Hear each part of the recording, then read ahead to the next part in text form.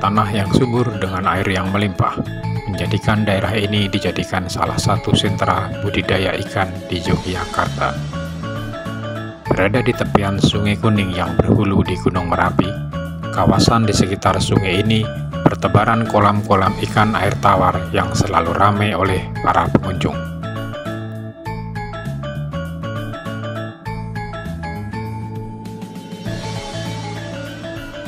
Candi Kadisoka ditemukan terkubur oleh material Gunung Merapi sedalam 3 meter di tepi barat Sungai Kuning.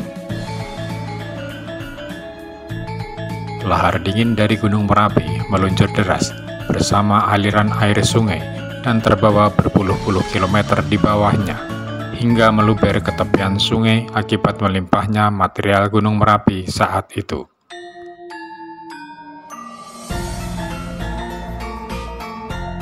Wajar apabila banyak candi-candi di Jawa Tengah dan Yogyakarta ditemukan dalam kondisi terkubur oleh material Gunung Merapi.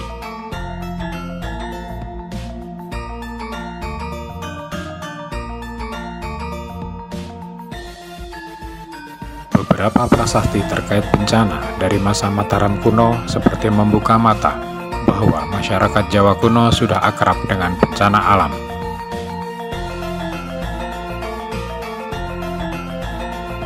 Namun, tanah yang subur menjadikan daya tarik masyarakat Jawa kuno dahulu untuk bisa bersiasat dengan sangat baik terhadap alam di sekitarnya.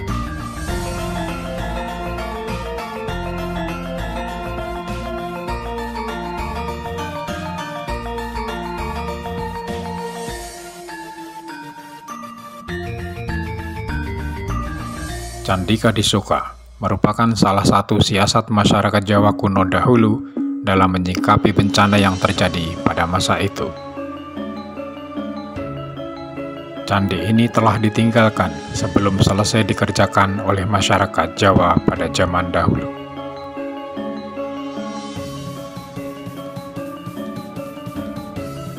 Mereka bisa membaca pertanda alam ketika Gunung Merapi akan meletus, sehingga para pendiri candi ini berbondong-bondong menyelamatkan diri sebelum erupsi besar terjadi.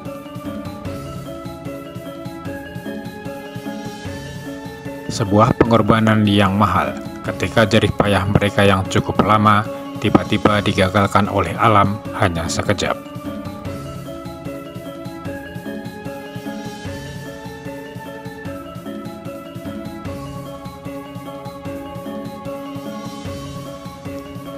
Candi Kadisoka memiliki pintu masuk dari arah barat, dan hingga kini masih berupa struktur candi tunggal.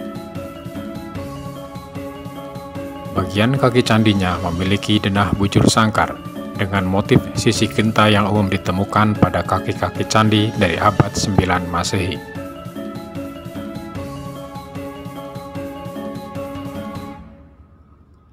Bagian kaki candi Kadisuka ini ditemukan dalam kondisi utuh terpendam material Gunung Merapi.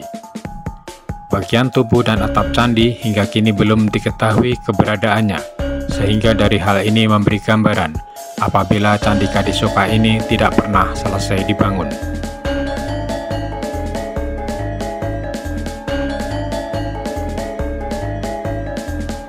Selain batu-batu penyusun bagian tubuh dan atap candinya yang belum ditemukan, simbol-simbol keagamaan dari candi ini hingga kini juga belum diketahui ada atau tidaknya.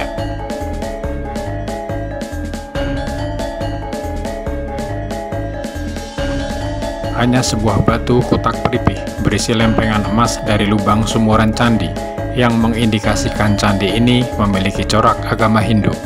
Namun itu belum bisa menjadi kepastian, mengingat lempengan emas isi dari kotak peripihnya memiliki kuratan bergambar bunga lotus berkelopak delapan, khas simbol dari Buddha.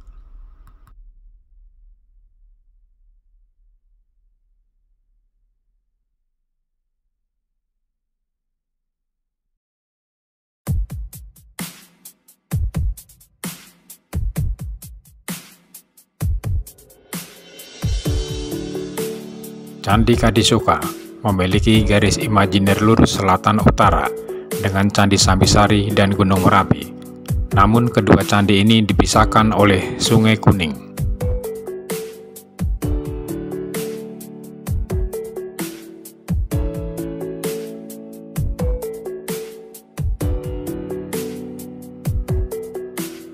Candi Sambisari sendiri merupakan bangunan candi pendarmaan untuk keluarga Raja keempat Mataram kuno, Rakewara Diah Manara.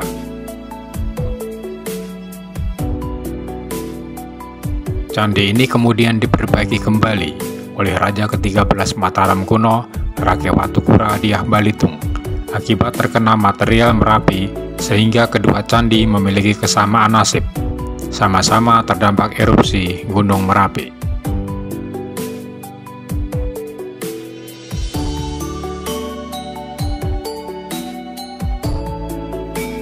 Namun berbeda dengan Candi Sambisari yang dibangun kembali oleh rajanya, Candi Kadisuka seperti tidak pernah diselesaikan.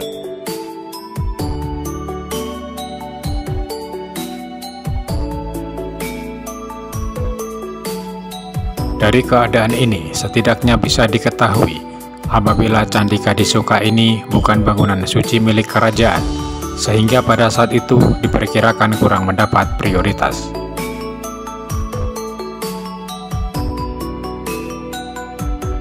Dan apabila ditinjau dari prasasti yang dikeluarkan pada masa pemerintahan Raja Balitung yang menyebut adanya bencana letusan gunung yang terjadi, Candi Kadisuka sangat tepat waktunya dibangun pada masa Raja Balitung berkuasa, namun candi ini tidak pernah diselesaikan dengan sempurna.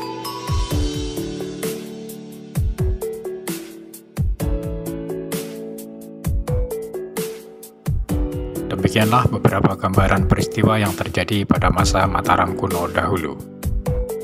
Beberapa bangunan tidak pernah diselesaikan dengan sempurna akibat adanya banyak faktor, yang salah satunya akibat terjadi bencana alam.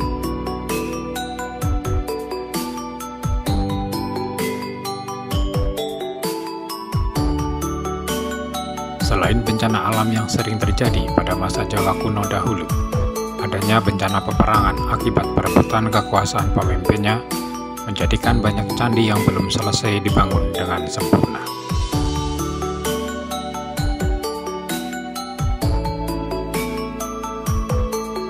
Namun, segala faktor yang menyebabkan belum sempurnanya bangunan candi tersebut membuat banyak terjadi pembaharuan pada masa berikutnya, baik dari penggunaan materialnya hingga gaya bangunannya.